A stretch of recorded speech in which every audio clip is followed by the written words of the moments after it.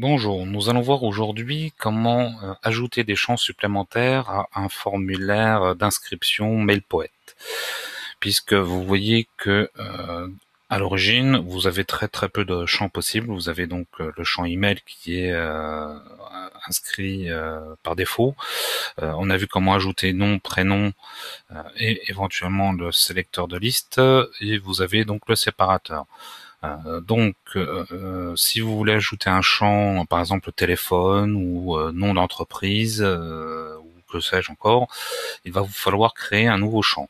Donc pour ce faire, vous vous rendez donc dans la partie de droite et vous voyez que vous avez un bouton Ajouter un nouveau champ. Vous cliquez dessus.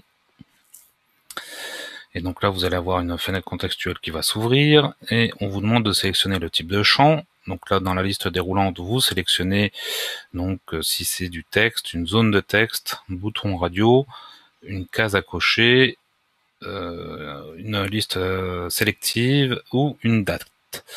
Donc par exemple, si on veut ajouter le téléphone, par exemple, donc on va sélectionner texte et on va mettre ici téléphone, téléphone, voilà.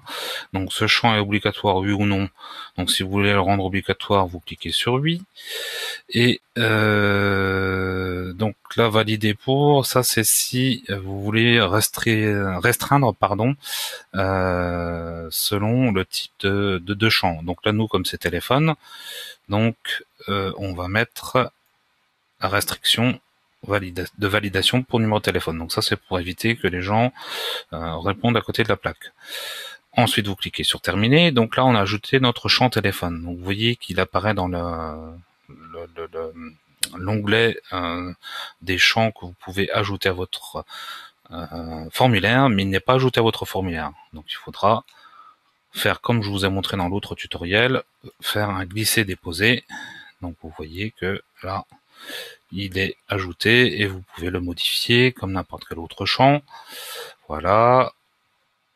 Donc ajouter le libellé, oui ou non. Donc on peut ajouter le, libellé, on après ça c'est à vous de voir, de régler. Donc je vais vous euh, montrer un second champ. Euh, donc on clique sur ajouter. Donc si on veut euh, mettre par exemple des cases à cocher, voilà, donc nom du champ, ça, dépend, hein. faites votre choix, je vais mettre, ça c'est pour juste euh, l'exemple, mais vous, vous mettez ce que vous voulez. Voilà, donc nom du champ, euh, on va mettre choix 1. Voilà. Et vous cliquez sur terminer. Donc si vous voulez mettre plusieurs euh, plusieurs comment? Éléments comme ceci, il faut, il vous suffit de les ajouter. Voilà, bah écoutez, j'ai terminé maintenant pour ce tutoriel vidéo euh, et je vous dis à bientôt pour un autre. Allez, à bientôt, ciao, ciao.